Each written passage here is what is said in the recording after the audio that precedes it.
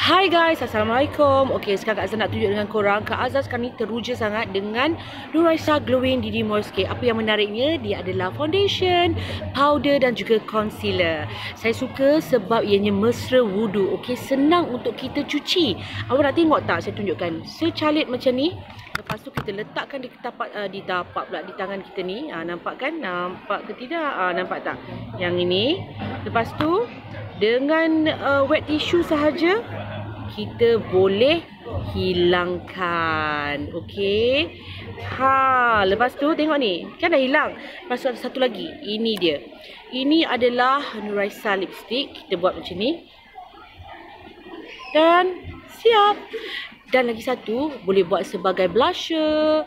Uh, tak bawa blusher tak ada masalah. Pakai je yang ni. Dan boleh letak sebagai eyeshadow. Okey, dapatkan segera daripada Nuraisa. Okey, Assalamualaikum.